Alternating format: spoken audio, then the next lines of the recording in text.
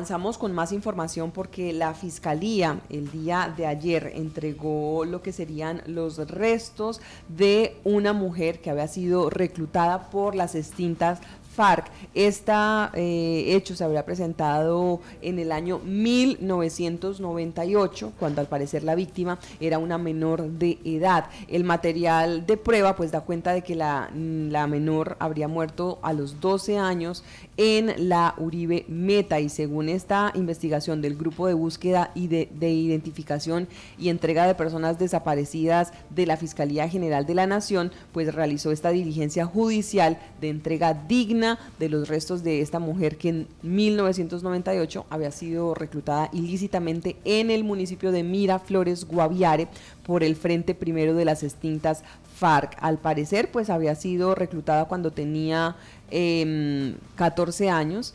En el curso de la investigación se estableció que murió en el año 2010, es decir, 12 años después de haber sido reclutada en el 2016, el grupo de búsqueda realizó la exhumación en el cementerio de La Macarena en desarrollo de este procedimiento especial de cementerios implementado por la Dirección de Justicia Transicional desde el año 2010. Un año después del hallazgo, la mamá de la persona reclutada participó en una jornada de atención a las víctimas en San José del Guaviare. Allí tomaron una muestra biológica de referencia, la cual fue procesada para el ingreso de banco de perfiles genéticos de personas desaparecidas y los resultados arrojaron la coincidencia plena de los perfiles genéticos con los restos exhumados en el municipio de La Macarena. Con esta conclusión científica, pues los restos de la mujer fueron entregados a sus familiares en, en, atención a sus necesidades y creencias religiosas en una ceremonia cumplida aquí en San José del Gobierno, que eran las imágenes que ustedes estaban viendo. Vamos a escuchar pues las declaraciones que hace el, director nacional de justicia transicional, Salomón Ustberg Rueda. La Fiscalía General de la Nación, a través del Grupo de Búsqueda, Identificación y Entrega de Personas Desaparecidas, GRUE, de la Dirección de Justicia Transicional, realizó entrega digna de los restos de una mujer que, en 1998, fue reclutada en Miraflores, Guaviare, por el Frente Primero de las extintas FARC.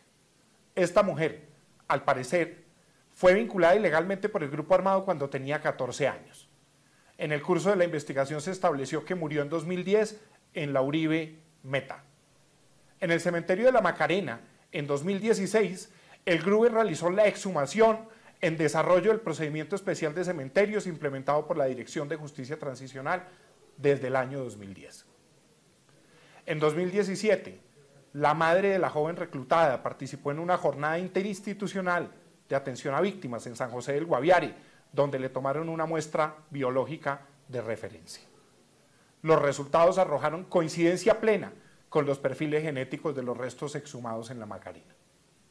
Con esta conclusión científica, los restos de la mujer fueron entregados a sus familiares en atención a las necesidades y creencias religiosas en ceremonia cumplida en San José del Guaviare.